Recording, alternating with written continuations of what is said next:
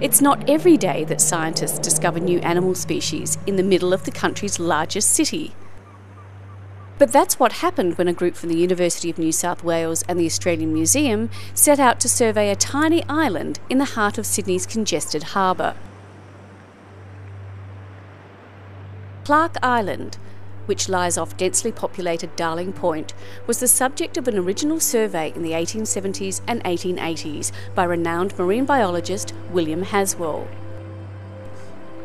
Haswell identified more than 100 species of marine crustaceans and other invertebrates.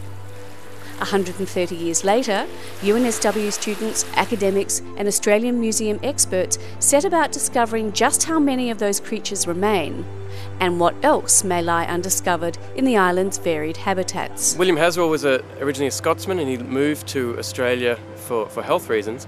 Uh, when he came here, he, he did extensive collections of the marine invertebrates. Uh, one of the nice things that we could do today, obviously, would be to rediscover some of these missing species.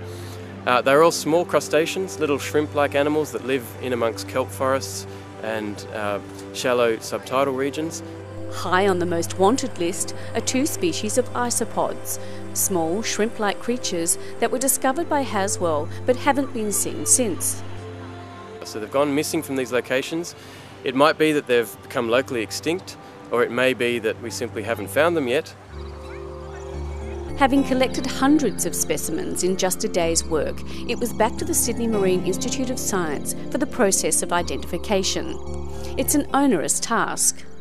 If you were to sample all of the invertebrates in about a metre squared of kelp forest, uh, you're likely to get in excess of 10,000 individuals. Identification of the haul may take some weeks, but already the team knows it has discovered several unnamed species.